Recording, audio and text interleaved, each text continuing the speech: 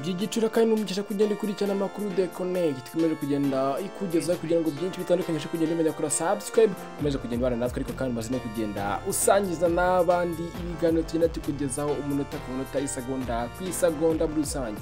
Icyabaraga muri ekipe ya Rayon Sport kimaze kugenda gishyirwa ku murongo ndetse kandi ubuyobozi bw'ekipe ya Rayon Sport ndetse na Skol.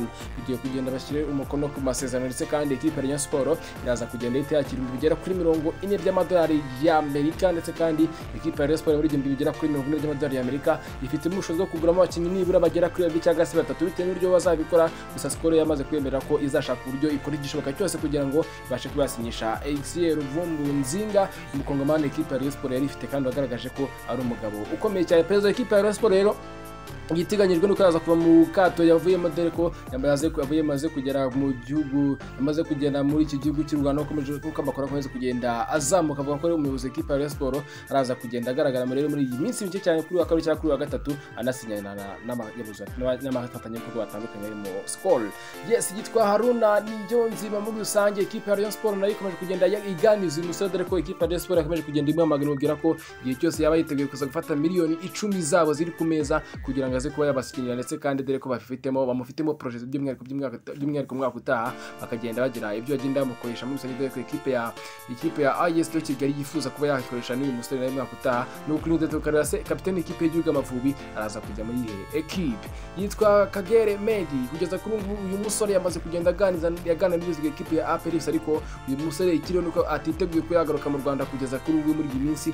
Gusa icyaza kubaho nuko ekipe ya APR yaza kuma ibyo yifuza dore ko ekipe ya Azam yo mu gihugu cya Tanzania ndetse na ekipe ya Yanga Africans. Zikomeje kugenda zishaka uburyo zamwegera dore ko ikipe ya Simba yamaze kugaragaza ko itamukeneye umwaka utaha. Uyu Kagame Medire yamaze kugenda agaragaza ko ari umwataka ukomeye ndetse kandi ufite imbaraga umwaka utaha rero. Ikipe ya, ya, ya Simba yamaze gutandukana nawe ndetse kandi agazigera abana na yo yitwa Brian. Yes yitwa Brian Muhirwa uyu muhinda uyu musore yavuye muri ekipe ya AS do Kigali kugeza kuri ubu ngubu yamaze kujya muri ekipe ya ya, ya Bugesera FC nyuma y'ekipe ya Sunrise imanutse mu cyiciro cya kabiri uyu musore yavuye muri ekipe ya Police FC ajya muri ekipe ya Bugesera kugira ngo ajye kureba uko ari byo azafasha iyi kipe. Byarangiye rero iyi kipe ya Sunrise imwe atandukanye nawe ajya muri ekipe ya AP muri ekipe ya Bugesera muri uyu mwaka ukurikiyeho imyaka ibiri. Yitwa kandi Jamil uyu mutoza agomba kuza gusimbura umutoza watozaga ekipe ya AP ndetse bijyanye na physio dore ko uyu mutoza Pablo ekipe ya AP ari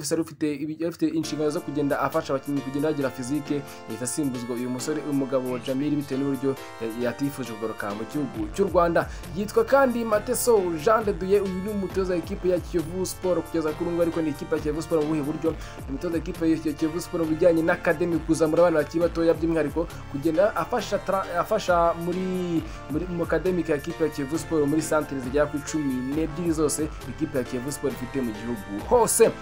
Yitwa karekezi olivier ndetse na nimbati iyi foto urayibona ute yitwa kandi cristiano ronaldo kugeza kuri ubu ngubu ekipe ya juventus yamaze kumwakira kuri kampu yabo nyuma kuva mu kiruhuko nyuma yo kuva mu kiruhuko uyu musore rero yamaze kugenda agera ku kibuga cya juventus ndetse kandi agenda afata amafoto by'umwihariko afata amaselfie ndetse anasinya ama autographe asinyira abafana b'ekipe ya juventus babwira ati kabisa nagarutse kugira ngo tugire ibyo dukora umwaka utaha turebe ko twatwara noneho igikombe cya champions league. Yitwa kandi steven gerard steve g. Uyu mugabo akomeje kugenda akora amateka by'umwihariko by'umwihariko hirya no hino dore ko ikipe ya Rangers yakomeje kugenda atoza ikipe yagize uruki gitwaye neza ikinira ikipe ya Real Madrid. Bateye amashoti agera kuri makumyabiri na rimwe ndetse batsinda ibitego bigera kuri bibiri kuri kimwe amashoti ari on target agera ku munani mu gihe ikipe ya Real Madrid ibyo byose bashoboye gukora akoze on target imwe itsinda igitego kimwe ndetse kandi ikora amashoti agera kuri atanu. Yo nyine yitwa kariri yitwa kariri jendubi uyu mugabo yagaragaye mu mikino ya olympique bwo ari mu mikino yo kugenda areba uburyo agenda azamura aterura akina imikino ya taekwondo. Uyu musore rero yakomeje kugenda atangaza benshi cyane by'umwihariko abakinnyi abafana ba football bavuga ko uyu musore afite uburyo asa na bruno fernandes ekipe ya manchester united byakomeje kugenda biteza urujijo. Yitwa thomas tuhel uyu mugabo ni umutoza ekipe ya chelsea kugeza kuri ubu ngubu yamaze gutorwa nk'umutoza w'umudage cyangwa se uvuka mu gihugu cy'u cy'ubudage ariko w'umwaka muri rusange n'umutoza w'umwaka yitwa kandi ekipe ya Chelsea ni ekipe ya Tottenham Hotspur ryamaze kwemeranya ko izakina umukino wa gicuti ni umukino ugomba gutangiza mbere yuko batangira shampiyona kuri tariki ya cumi na gatatu. Iyi ekipe ya Chelsea igomba gukina na Tottenham ariko ikiriho nuko bagomba kubanza bakerekana igikombe batwaye cya Champions League bazenguruka imbere y'abafana babo ku kibuga cyabo cya Stamford Bridge. Yitwa kandi Johnny Terry uyu mugabo yatoje yajya akinira ekipe ya Chelsea yatozaga ekipe ya Aston Villa nk'umutoza wungirije yungirije Dean Smith. Uyu mugabo yamaze gutandukana n'iyi ekipe bitewe n'uburyo yifuza kujya gushakira ahandi nawe akaba umutoza mukuru muri rusange. Yitwa Virgin Van Dijk. Virgil Van Dijk ugeza kuri ubu ngubu Virgil Van Dijk yamaze kugaruka mu myitozo ikipe ya Liverpool ndetse kandi akaba yiteguye kuba yagaruka mu myitozo igihe ikipe Tottenham gukina mu mikino igiye itandukanye ya Liverpool. Dore ko yamaze kugenda ashyira ibyo ashyira ku murongo. Dore ko ikipe ya Liverpool yamaze kugenda yemeza ko uyu musore yamaze kugaruka mu myitozo kandi ahagaze neza kugeza kuri ubu ngubu nta gindi sire turamubona muri iyi mikino itaha. Yes! Transfer center bihagaze gute? Bimeze gute?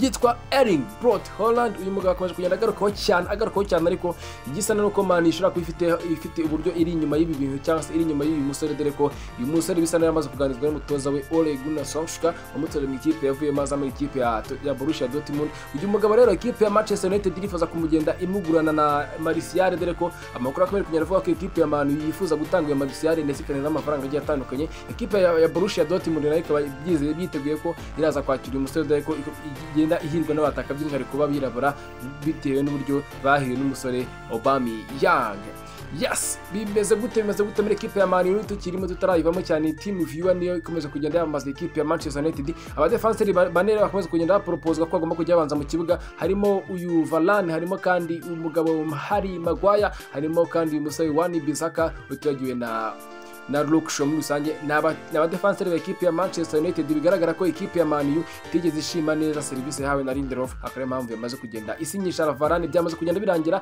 miliyoni zigera kuri mirongo ine z'amapawundi kuri mirongo itanu z'amagero. Yitwa Brian Gill. Brian Gill uyu musore twakomeje kugenda tumugarukaho cyane. Ni umusore wa ekipe ya ekipe ya y'igihugu ya Espagne ndetse kandi akaba n'umukinnyi wa ekipe ya Sevilla. Yamaze kugenda birangira yamaze kwerekeza muri ekipe ya Tottenham Hotspur ndetse kandi aguranwa na Eric Ramera. Uyu musore yamaze kujya muri ekipe ya Tottenham Hotspur ndetse kandi yatanzweho n'izindi miliyoni zigera kuri makumyabiri n'eshanu. Tammy Abraham uyu musore ekipe ya Chelsea yamukize ku isoko kuri miliyoni zigera kuri mirongo ine. Abanyamakuru yo ku mugabane cyangwa se by'umwihariko mu gihugu cy'ubwongereza bakomeje kugenda bagira ikipe ya Manchester City inama bavuga ati mugure uyu musore kugira mugure Harry Kane dore ko uyu musore ngo akiri mutoya kandi afite potential ku buryo Pep Guardiola yamutoza akaba umukinnyi w'ubuhanga.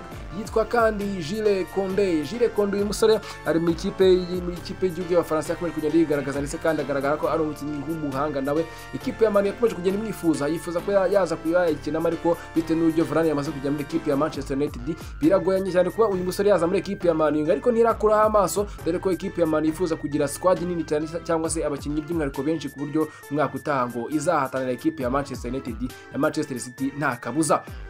Yitwa kandi Ben White. Ikipe ya Arsenal yamaze kugenda yiseza ekipe ye. Uyu musore agomba kuza muri ekipe ya Arsenal rero atanzweho miliyoni zigera kuri mirongo ine mirongo itanu zose ava muri ekipe ya Brighton. Uyu musore rero yamaze kumvikanira ekipe ya Arsenal ndetse kandi ibyo bijyanye n'imishahara byararangiye igisigaye nuko uyu musore yagira gutya agasinya agashyira umukono ku masezerano kuri miliyoni zigera kuri mirongo itanu bamutanzeho dore ko agenda kujya gukora ikizamini cy'ubuzima. Nyine nitwa Ziridi Zolanda Ziridi Whisky hasta la vista.